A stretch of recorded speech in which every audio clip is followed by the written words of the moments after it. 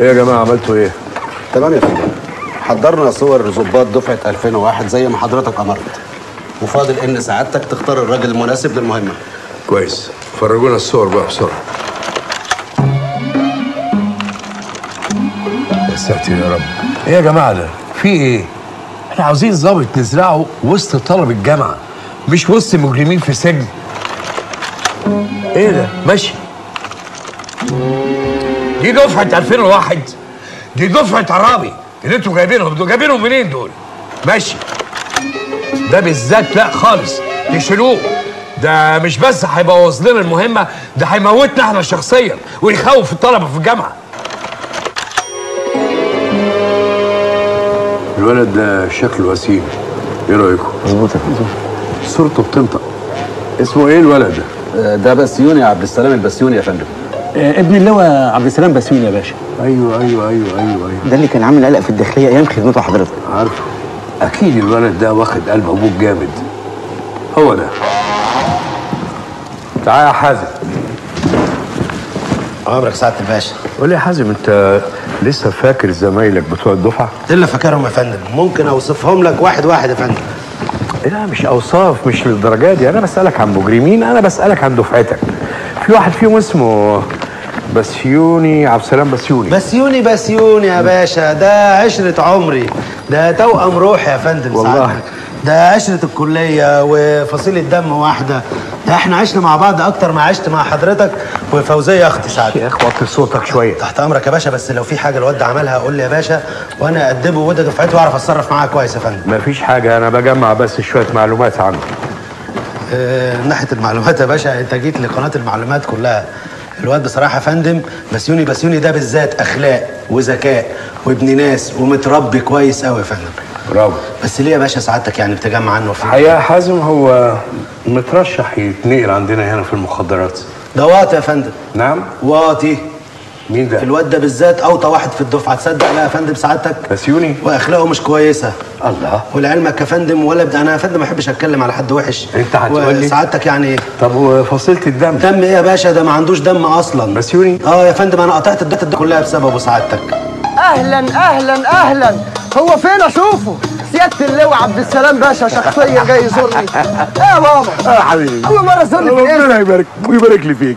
أهلا يا حبيبي. أنا جايب لك مفاجأة كبيرة قوي. جايب لك معايا السيد مساعد وزير الداخلية شخصيا ومع بنته. بنته جولنار هانم. بس إيه يا بسوني؟ صاروخ يا ابني. صاروخ يلا يا ابني. تاني يا بابا. يا بابا قلت لك قبل كده أنا ما ينفعش أتجوز واحدة ما شفتهاش قبل كده. اسمع يا ولد دي فرصتك الوحيدة عشان تتنقل من الوحلة دي. وبعدين يا أخي تعالى سلم على عروستك كفاية إنهم جايين لك لحد عندك. يلا. يا فندم ابني الملازم أول بسيوني ليه الشرف إنه يجي يسلم على حضرتك؟ تمام يا فندم. هذا الشبل من ذاك الأسد. أهلا يا وحش. أهلا مسيوني يا باشا. يلا يا ابني روح شوف عروستك يلا.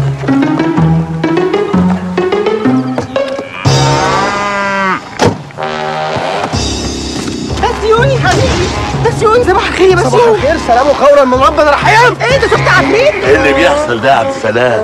دول أكيد بيلعبوا مع بعض يا فندم. اديني فرصة بس يا بسيوني يا جماعة استنوا بدي أقول لك على حاجة. استنى حاجة يا استنى يا بسيوني بس اتفضل يا بسيوني يا حبيبي لك استنى بس أقول لك على حاجة أنا اتاخر قوي يا عبد السلام.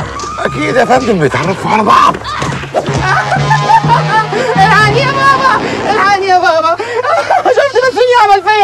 البنت اتمرمطت ابنك عمل في البنت إيه يا عبد السلام؟ مش عارف يا فندم.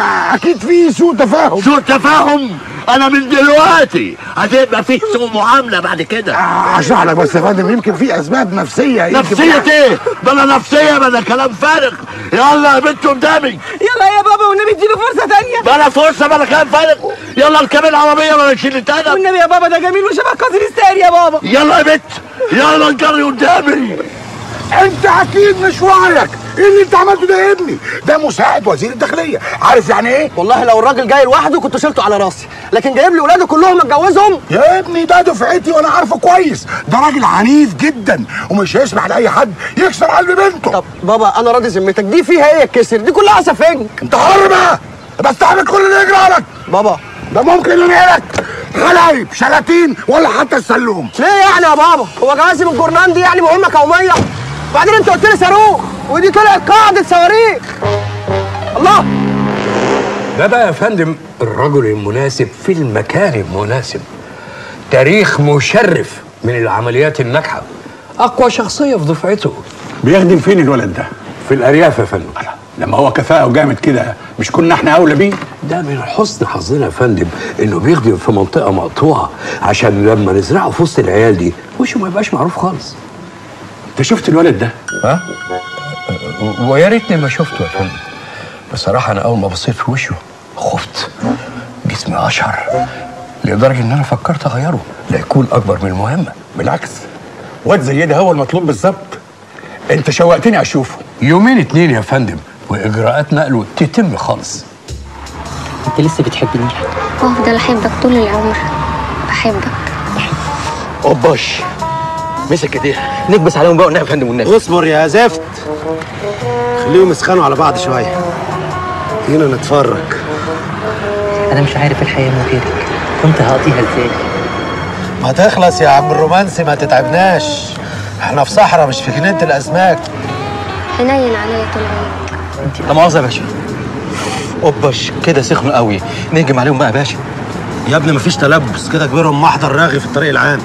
أنا من يوم ما عرفتك. الدنيا حلاوتنا أنت فين يا سي حازم؟ هل تسمعني؟ حاول. حاول الاتصال في وقت آخر. حاول. أنا نجدت يا حيوان. أيوه يا ابيه ده الجهاز بيترعش من الفرحه حازم تعرف الواد دفعتك اللي اسمه بسيوني عبد السلام بسيوني اللي بيخدم في الأرياف ده؟ طبعا يا باشا. عاوزك تجيبهولي من تحت قطيع الأرض. ما تدخلش مكتبي إلا وهو في إيدك. تجيبهولي حيا أو ميتا. علم يا سعادة الباشا. يلا يلا. طب والتلبس ده يا باشا؟ يا ابني سيبك منهم دول عاملين لي فيها تامر وشيرين يلا يلا.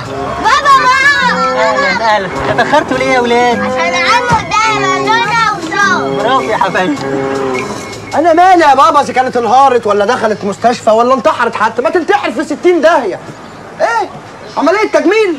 بابا هات لي جراح في مصر ممكن يجازف إنه يشتغل فيها. آه. هيشفط إيه ولا إيه؟ إحنا لحقنا. أبوها ينتقم. وبعدين ينتقم بقى. إحنا ما يهمناش حاجة يا بابا. ثانية واحدة ثانية واحدة يا بابا ودني. بابا اقفل عشان شكله فعلا هينتقم. بقول لك إيه؟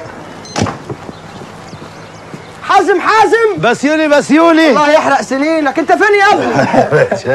فاكر يا لما كنت بغششك في الامتحانات؟ آه كنت بس والله وحشتني بس. والله وانت كمان. طب فاكر يا لما كنا بنفك لك السرج من تحت الحصان وانت بتنط الحواجز؟ آه رقبتي كانت هتتكسر بس مش فاكر يا باشا برضه مش فاكر. انت آه، هتصعبط عليا. بنسى الحاجات ده أنا. والله وحشني. وانت كمان يا بسيوني قول لي يا حازم بالحق انت إيه يعني إيه اللي فكرك بايه والله يا باشا أنا جاي اقبض على حضرتك. يا سيدي على الهزار واللطافة. جاي اقبض عليك يا بسيوني جاي تقبض عليا أنا؟ بجد يا بسيوني لا والنبي. اديني بقى إيدك الشمال ومين اللي جاب لك الكلبشات دي دي جايبينها لي هديه في عيد ميلادي. ألف لا بأس. يا حازم بلاش هزارك الغبي ده وفكني. فكك إيه يا باشا؟ ده أنت شكلك عامل مصيبة. ولا مصيبة ولا حاجة. كل اللي حصل أنا أحكي لك ان أنا رفضت أتجوز جورنان. عايزين ينقلوا لي حلايب وهتمرمط. يا باشا لا فيها جرنان ولا حلايب. ده موضوع أكبر من اللي أنت بتقوله. قال لي هتقوله حيا أو ميتا. يا عم ولا أكبر ولا اتفضل. حاجة. أنت عارف الموضوع ده حله إيه؟ دبله وبوكيه ورد فكني بقى يا حازم. ورد إيه يا ابني؟ أنت اطلع قدامي. اتفضل. يا فقر أنا وحشني أنا وحشني انت اهو ابعت لك عيش وحلاوة. كل يوم. يا فقر. كل يوم ابعت لك عيش. وحلاوة. يحيى العز يحيى العز قدامي. تمام يا فندم. قبضنا على الظابط بسيوني الله يخرب بيتك. انت إيه اللي هببته ده؟ انت في إيه في دماغك؟ ربط الكرفس؟ ليه بس يا أبي؟ سعادتك قلت لي عايزه حيا أو ميتا. أنا جايبه لك يا فندم أهو بدون أي نقطة دم واحدة سعادتك. طب قرب من قدامي. و- حسابي معاك بعد امشي! شفت يا عم هو زعل. يا ريتني ما وقفتك تجيب ورد. اسف يا باشا. افتحي الأساور بتاعت الباشا يا فندم. اطلع بره يا حازم.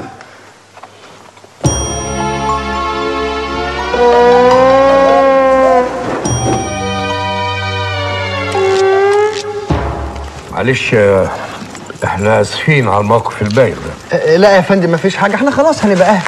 جورنان أخبارها إيه يا فندم. انت هتبتدي على ماضى ما خلاص قلنا إحنا آسفين. عاوزك بقى تصحصح معايا تشد حيلك. أنا هشد حيلي واصلح غلطتي تماما يا فندم. يعني بس كان ليا رجاء عند حضرتك. بلاش حلايب أنا أساسا تعبان في الأرياف. انت باين عليك متعب ولبط. إيه اللي أنت شايله دي حاجة بسيطة يا فندم. إن شاء الله ألف سلامة على بنت سيادة مساعد الوزير. هي عيانه وحضرتك ما تعرفش؟ عندها إيه؟ صرع يا فندم. إيه؟ صرع يا فندم. صرع ألف سلامة للهارم الصغير يا فندم. ربنا يشفيها لساعتك مش ده؟ مش ده؟ ورد إيه وهانم مين؟ إيه التهريج ده يا نجدة؟ ده, ده, ده حاجة بسيطة يا فندم. ده أنا الود ودي كنت اشتريت جنينة بحالها لبنت سعادتك. مالها بنتي؟ هي مش عيانه يا فندم؟ مين اللي قال لك الكلام الفارغ ده؟ الظابط بسيوني يا فندم. والله ما أعرف يا باشا إنك مخلف أساسا. هو لعب عليك يا نجدة. باين عليه لبط فعلا زي ما بيحكوا عنه. شايف سعادتك شايف نظرة الشر اللي في عينيه؟ صقر يا فندم صقر خلاص خلاص. أنا متفائل بيه. والوزارة كلها متحمسة له. بيقولوا إن ده هو الشخص المناسب. أنا عايز نتائج مبهرة. التزموا السرية التامة. ها. جاهزين؟ تمام يا فندم. على بركة الله.